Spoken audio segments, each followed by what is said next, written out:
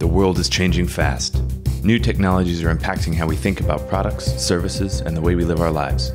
Nowhere is this trend more present than in financial services, where new business models and customer expectations are changing our conceptions about banking, finance, and the very nature of money. Welcome to Rebank, a visionary podcast about banking, fintech, and the future. The future of banking is here. Hello and welcome to Rebank. I'm your host, Will Beeson. Today is a special episode of great personal importance to me. I've been learning and studying and training in fintech for years, both as a founder and through this podcast, where I'm able to have conversations with the most visionary and impactful founders, CEOs, and VCs in the world of fintech.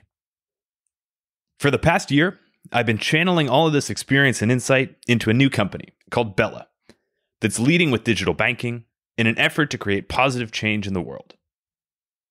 Bella launched in the US on November 30th, and everything has been a blur since. Taking a new consumer company into the world for the first time has to be one of the most thrilling experiences that exists. In today's conversation, I'm joined by Angelo D'Alessandro, CEO of Bella and my co founder, but more importantly, my close friend and mentor, to talk about what we're building. We cover our backstory, Angelo's approach to building teams and brands, Bella's vision and offering, the state of the world in 2020 and the implications for startups and brands going forward, and more. For all of our past episodes and to sign up to our newsletter, please visit bankingthefuture.com. Thank you very much for joining us today. Please welcome Angelo D'Alessandro. Angelo D'Alessandro, welcome to Rebank. Hey, Will. Good morning. Thank you for having me. Did I pronounce your name correctly? Perfectly. You speak Italian better than me. I don't know if your I don't know if your audience knows that, but but you're you're great in Italian.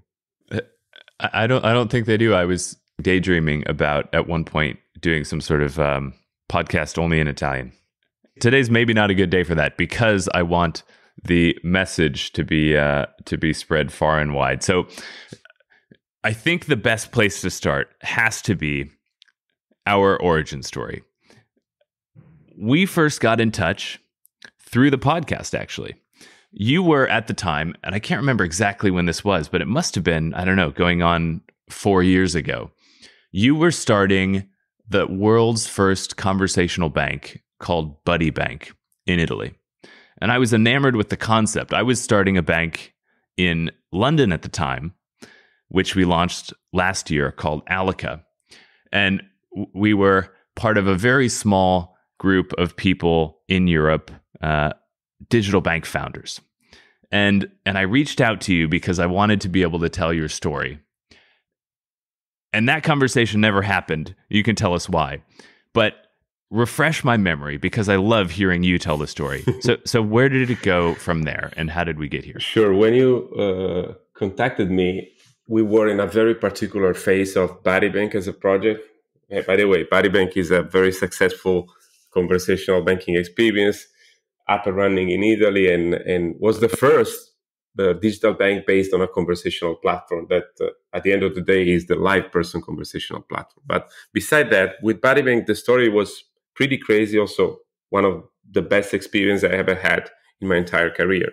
And we launched Bank as a separated company, totally disconnected from UniCredit. UniCredit was our strategic backer, let me call it like this, and was our investor, the only investor we had.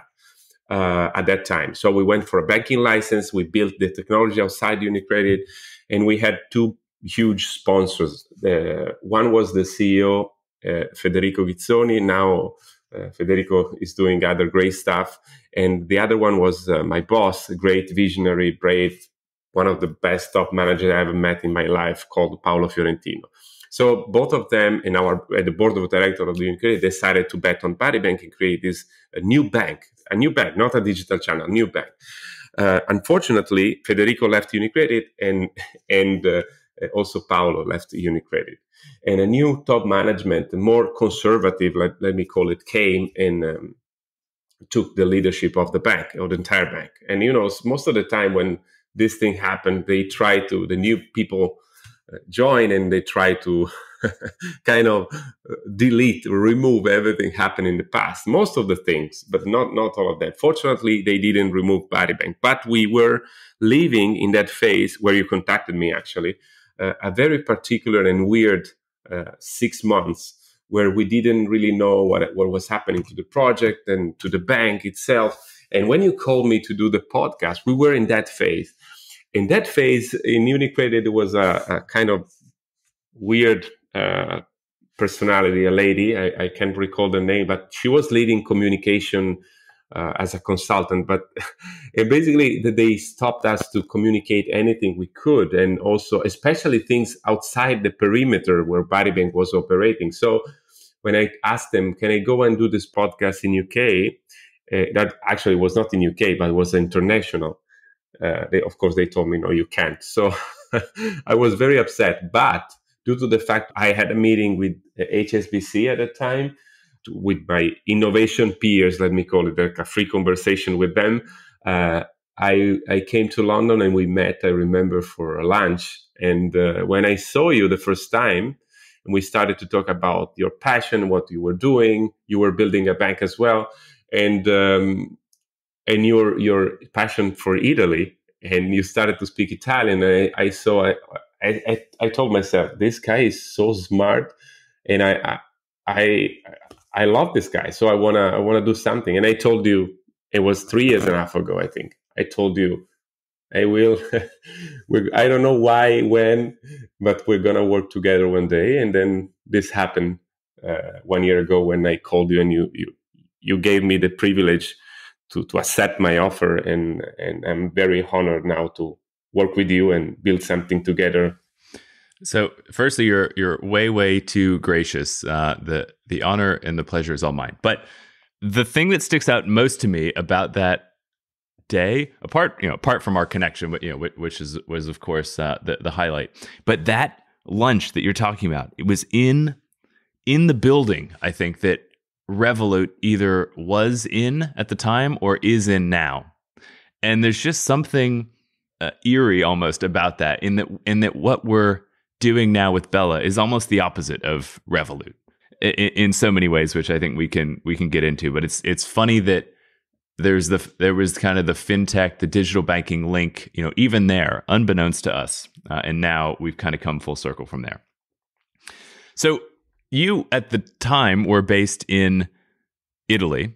I was based in London, and th- the way events played out is that the founder and CEO of a NASDAQ listed B2B software company, LivePerson, which you mentioned, uh, who had provided some of the, uh, the infrastructure into Buddybank, basically called you and said, I love what you're doing at Buddybank so much. I want to back you to found a new digital bank in the US. So move over here and I'll fund you. And you called me and we moved to New York and we did it together. So talk a little bit about how this how this project came together. Yeah, I, I, think that in general in life, you know, everything is based on the people that you meet during your journey, do your your act, your scene, your show. so as happened, I met in my career now is 20 years. Uh, I, I always met at a certain point people that to me were like angels, like real angels, people that literally changed my my path and this is is something that happens to most of the people out there. Even if you think that it's not happening to you it is. You just need to be aware and curious to understand who those people are. So for example i mentioned paolo fiorentino. There is another uh, great man that you you you met mauro castiglioni that was my first boss. He was the ceo of Cisalpina uh, asset management company in 2000 when I started to work in, in this industry. And then there is Rob, Rob Locascio. Rob, or Locascio because it is Italian, but here they call it Locascio. Um, Rob is a is a dreamer and a visionary man who realized something huge. Rob did what he has today without help, without a company behind. He built one from scratch. And uh, one, I remember uh, Rob came to Milano when we were uh, on the market with Buddybank.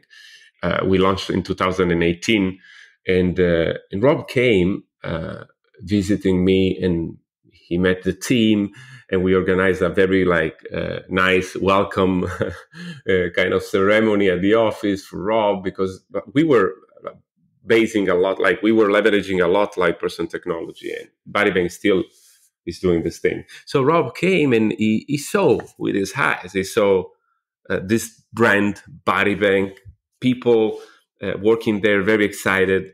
Uh, he saw the customers coming in and like using the platform, and um, and he really liked that. And we we spent some time talking about the future and how we can make the world a better place and what we can do. And and after one month, he called me saying, "Look, I, I wanna I want to propose you to do something together and uh, in the US. And actually, was my dream coming here doing that. And uh, so I, I, we discussed a little bit in how we could collaborate with this new brand that we we wanted to launch. And uh, I accepted the offer and I started to build the team. And uh, and we are working all together with Rob as well, building what we built so far and the future of this brand that will go beyond banking very soon. All right. So, but before we dig into the meat of Bella, I, I want to touch on one thing, which is how inspiring I find you to be as a leader. You were talking about all these, you know, CEOs that you knew in in Italy and the U.S., uh, and I totally agree with you. Rob is one of the most visionary people I've I've ever known. Um, but you are one of the best leaders I've ever known, and you've you've told me this story before, and I won't I won't uh, ask you to dig into it in detail. But I didn't know when we first met, what three and a half years ago, that you were formerly a professional jazz musician, and and the way that you did that was basically by pulling together a very strong team of people that could that had that had strong technical skills and and believed in your vision. And you did that then, you did that at Buddy Bank, you did it here again with Bella. Tell me a little bit about your I, I, don't know like your your outlook on how you motivate and inspire and how you build a team. I don't know if i inspire but i can tell you what i like to do. I like to build brands uh, indeed we were talking with rob a couple of weeks ago at his place in, in new york city and, uh, and i told him i'm not a i'm not a banker i i I work in banking and I'm enjoying it. And now in the tech, industry, but I like to build brands. so you mentioned the, the jazz band, and before that, actually, I did other stuff. See, we look even when I was a teenager, I was organizing stuff and building ideas. The first actually thing that I did, and you don't know that, I wrote a musical, and uh, and in it was like I don't remember neither when it was. So I, it was, I built, a, I wrote a musical and I produced the music. I found sponsor. I put together a cast of pro- professional people. I really don't know how I did it, you know, with the audition and all, all this kind of stuff. And we we launched this musical in a, the most famous uh, uh, theater in Milano with big sponsors behind. And uh, it was beautiful. We brought everything songs, the story, and it was a very passionate and emotional story. And uh, so I, I, and then I started to study a little bit because I, I, I pretend to be a singer. But then I realized, okay, what's my dream here? I don't want to do musical because I'm not that good doing it. Uh, and I want to, I want to sing like Sinatra or Michael Bublé. But I, I knew that I was not neither Sinatra or Michael Bublé. But I had a dream. And the second dream after this musical was play and sing at the Blue Note Jazz Club, that, as you know, is a worldwide known uh, uh, jazz club. So there is in, one in New York, in Tokyo, and uh, and one in Milano, which is you know is was a, I was very proud about that, and I was going there and watching great concerts of great musicians from from the U.S. and all around the world. So I said, how can I reach that stage that I'm not that good? So I said, okay, let's find first. Let's build a brand around that experience. So I went online. It was okay. What? How can I call a, a jazz band to to celebrate the the golden age, the, the Sinatra, the Rat Pack era. And I said, okay, Copper Room, let's call it Copper Room. Copper Room was the name of the club in the, at the Sands Hotel in Las Vegas where Sammy Davis Jr., Dean Martin, Ella Fitzgerald, and Frank Sinatra used to sing. So I say, oh, I, I like this name. So let's pick that name. We, the band is going to call Copper, but it's not enough.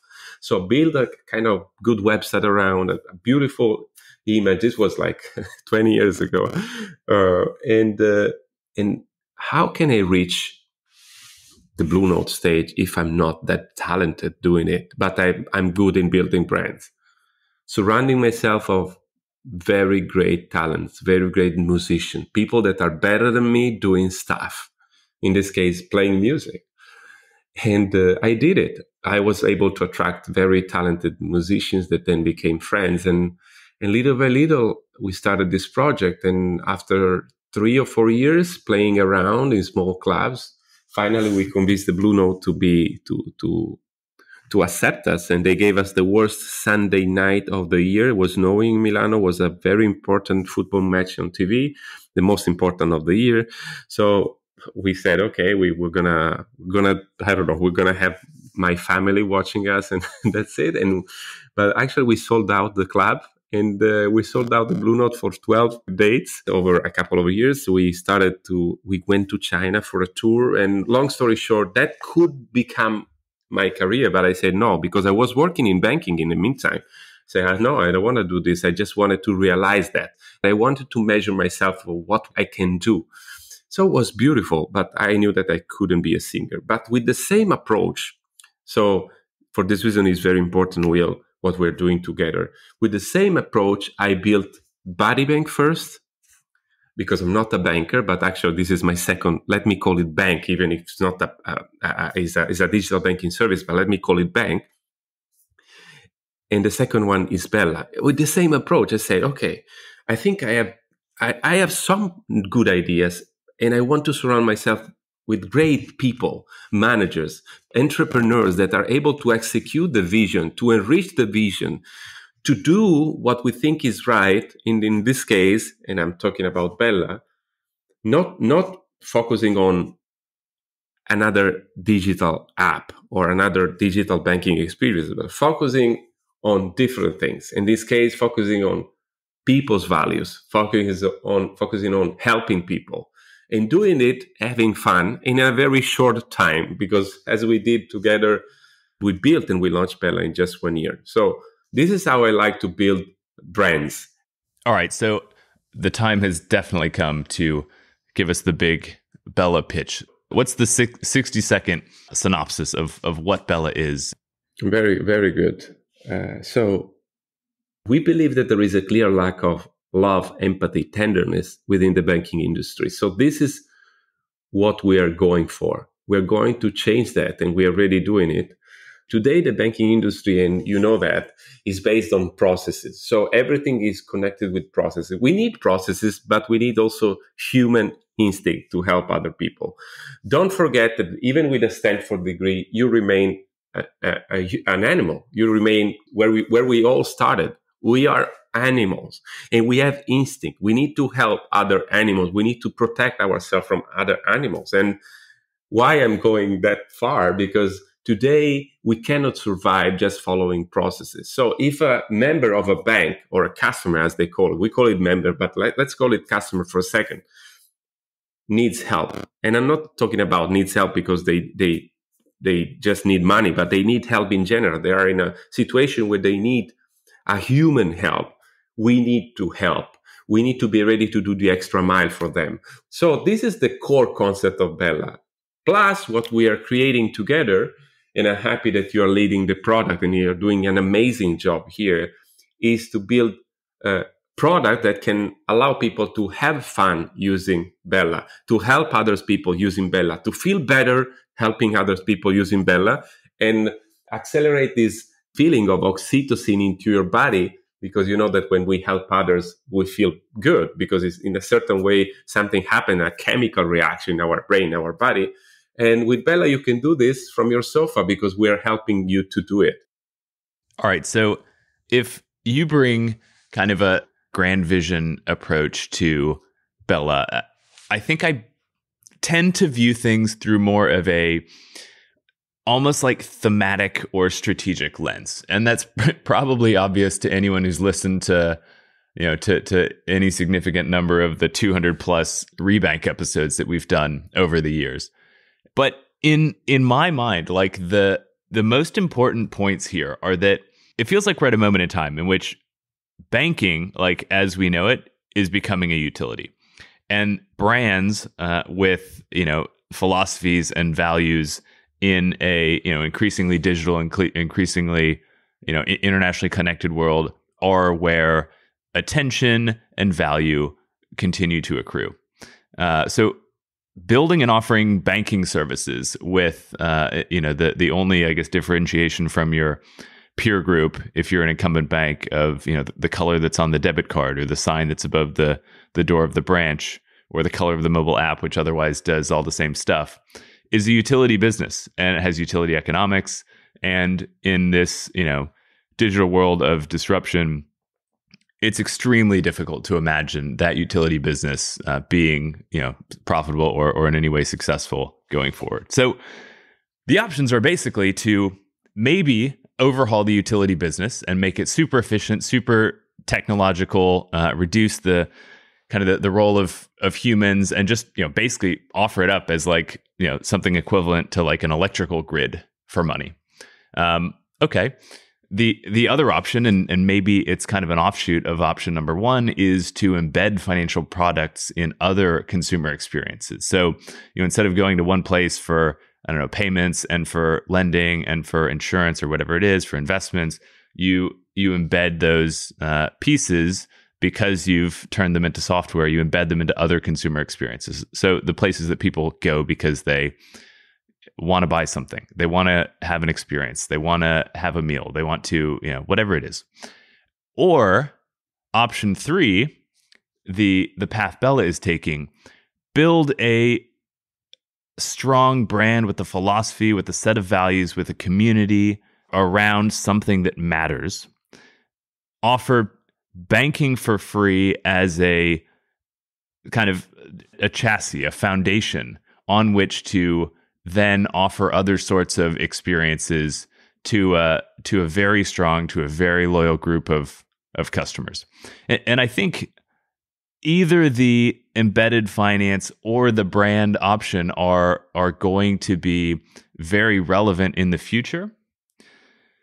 But there's something I don't know. Per, call it personal preference. Maybe it's because I'm not a, a hardcore engineer, but there's something about the the humanity, the connection, uh, the the engagement, and the richness of building the brand and building the community and engaging with customers, consumers, people in a new way, which which just makes that option three uh, so so compelling.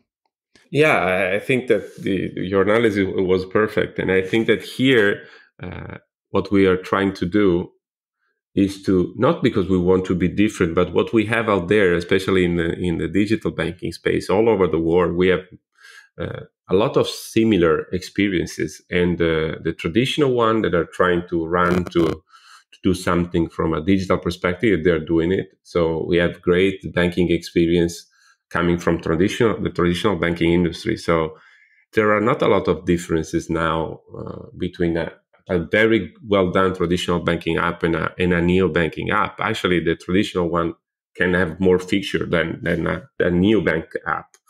But the field and the game that we are all playing, we were, because now we are playing a new one, was based on, I don't know, okay, with me, you can open the account in three minutes, and with other, you can get paid two days early. The, then you can have the 0.2 5% interest rate if you open. So we were we were all talking about tax stuff or interest mm-hmm. rate or how fast could be to open an account. Actually, even if opening an account with Bella is very fast, but we will never sell that because who cares? I'm opening a relation with someone. I don't want to, I want to be smooth and, and fast, but I, I don't really care if it's in 10 clicks or 20 clicks now.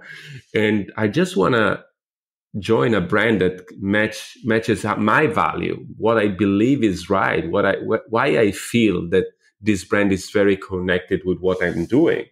And brands like Apple are, are they they train, change the world under this branding. And so what we're doing with Bella is exactly this thing. When we talk, everybody talk, oh, we're, we're, we're going to build a community. We're going to be, yes, we should all doing it. And we are doing this with Bella. And what is happening just after one, 10 days, we launched uh, 11 days today on the market. It's crazy what, and you can see it, Will, what is happening. People excited to use Bella, to be part of Bella, excited to wait for Bella. We had thousands of people on the wait list. And I want to talk about the product. Like we're not like promoting Bella with this podcast, but we're sharing a beautiful story. Me jump on the details, what, what you can do today with Bella, because I want to connect the story, what is happening uh, on Instagram and people can see it. With Bella, you can do two things beside like regular banking stuff we decided first instead of spending money on advertising so on instagram and facebook and, and google etc as in a traditional way let me say we decided to give that money back to our members so every time they swipe their card they could randomly get from 5 to 200% real time money back into your, their checking account which is something uncommon for the industry so it's not a, a rewarding a loyalty program and you swipe you get 0.10 points and maybe after $20,000 you get a flight to go from New York to Miami. We are talking about real money directly into your checking account randomly. So having fun using that card. And the budget pool is the budget that we saved instead of spending in traditional advertising. Let's see if this could activate a virality that we expect is happening already. But the second piece that is the most successful one and what made, makes me happy and proud is the caffè sospeso. You know, caffè sospeso means suspended coffee. It's an Italian word that we use, and you know what it means, where is a tradition actually, um, where you go in a coffee and you pay for two coffees, you drink only one coffee, and you leave the other prepaid for another customer that maybe uh, doesn't have the money to to pay for a coffee. So we call it like paid forward, but caffè sospeso means exactly that. So in Bella, you have the karma account. You can put up to $20 there and you could randomly surprise other people that you don't know. And they will receive a message say, Hey, Will, uh, Angelo just paid for your coffee, even if we don't know each other. And you can send me a thank you back. This activated a crazy thing. And uh, there are people on Instagram, for example, two days ago, we had a very intense day here at the company. And and Chelsea sent us a message. Chelsea is our, uh, she's leading operation marketing. She's another uh, uh, jazz band, great team player like you will. And she's doing uh, uh, amazing stuff. And she sent me a message, she, all of us, like both of us, like with the screenshot of a customer uh, Uh, uh, replying to a, commenting a post that we, we posted on Instagram saying, uh, oh, I cannot wait to use Bella, but my first deposit could come in like in January, but but I'm very happy to be part of this family. And another Bella member replied, say, okay, give me your Bella ID. I'm going to drop some money just so you can start using Bella. And people started to do, to do it. So the, the, we started kind of collective uh, help for this customer just because for no reason, just to share some love, which is the principle behind the community we are building changing the world through kindness, to, through tenderness. So this is, I know this is not an elevator pitch, but we need time to describe these amazing things that are happening at Bella. And, uh, and I'm very proud and happy that we built this together. And, and uh, I, I, really, I, I, there are a lot of emotions going on here around this project. And, and I think we are onto something pretty interesting. Firstly, I have to, I have to tell a personal story of, um, of a pay it forward. So I was, I jumped on my bike and rode from Williamsburg over to Union Square and met my cousin uh, for coffee. It was probably, yeah, I don't know, like right right around the time that Bella launched. I think it was like a, a Saturday, and he we had just had a loss in the family, and so we were connecting to uh, to just kind of catch up and you know make sure he was doing okay ordered coffee and just kind of sat and talked. And it was a you know kind of balmy day in uh, in the late fall in New York. Talked for an hour. You know, it was intense. It was emotional. It was deep. It was important. And then I paid for the coffees and immediately as you're describing i got two push notifications one saying you know you just spent 950 and another one saying John just paid for your coffee just to show some love. And it was like it it, just, it seems like such a small random act. I'm getting goosebumps now just thinking about it. But it was so meaningful in that moment, you know? Like n- not only, you know, not only can can there be those sorts of of experiences, right? Where someone's having a tough time uh, and and someone makes their day. But even in in in normal cases, there's just a it's that tiny, that fleeting moment of connection in a world which is increasingly digital, which is increasingly disconnected. 2020 has been really hard for everyone. We've been forced to to distance from you know the people that we care the most about. So that tiny little moment of of connection between two complete strangers uh, is is powerful. It's so powerful. And then just opening it up a little bit, like you know, I, I just mentioned 2020 and what a year it's been. I don't know about you, Angelo, but 2020 feels like you know as as confusing and painful and dark as it's as it's been it feels like a watershed year you know like we're, we're gonna look back on 2020 years and decades from now uh, and and point to it as as the year things changed. And a year ago, right when you when you and I and Chelsea and and a few others at that time started you know started working on Bella, I think it was it was kind of clear to all of us on some sort of you know basic or unconscious level like what we were trying to do and why it mattered. But for me at least, it was difficult to to kind of put into words exactly why it was so important.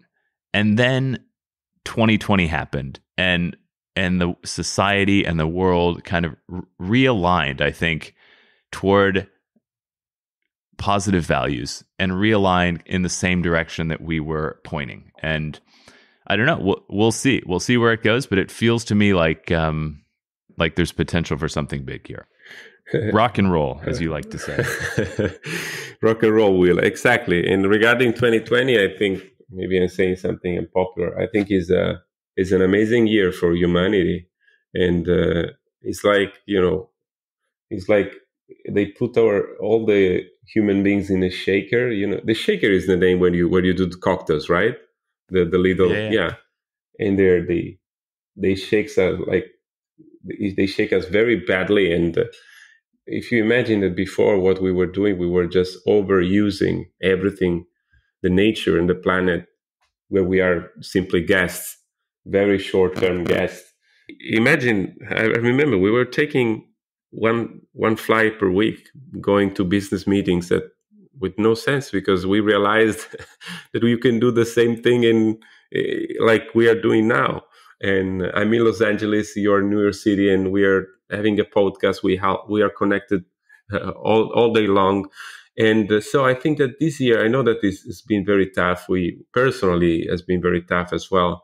Um, I don't see my family. Uh, last time I, I, saw my mom, just to give you some personal stuff. Last time I saw my mom was January uh, 2020. So it's it's tough for millions of people right now. But I think that it's a kind of renaissance for who will be will be lucky enough to survive to this pandemic, uh, we will have a we will have a great opportunity to rebuild something, and and then you know 2020 I I, I would say for us uh, so far has been pretty great. We launched Bella and uh, and we are trying to help people to go through this because Bella is making people happy, which is one of the reasons why we founded Bella was not just to get millions of customers and, and make money out of it, but to change the world through uh, tenderness and helping others. And this is what we are seeing and what is making our days every single day. Love it. Angelo, look, this was at least three and a half years uh, overdue, this podcast, but I think we had actually a lot more uh, interesting a uh, conversation than we would have if, if we'd been talking about uh, V1 uh, digital banks around the world.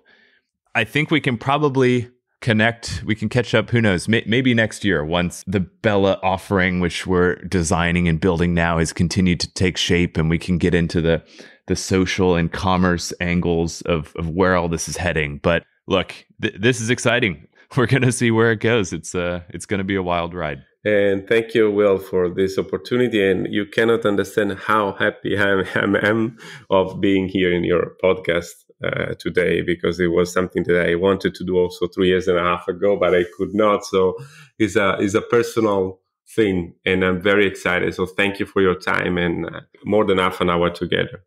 There you go. You've headlined the Blue Note and now you've been a guest on Rebank podcast. Uh, Angelo D'Alessandro, thank you very much for joining us today. Thank you very much. Thanks for tuning into Rebank. If you like today's show, reach out. Follow us on Twitter at Rebank Podcast and join the conversation. For more on banking, fintech, and the future, check out our regular content at www.bankingthefuture.com.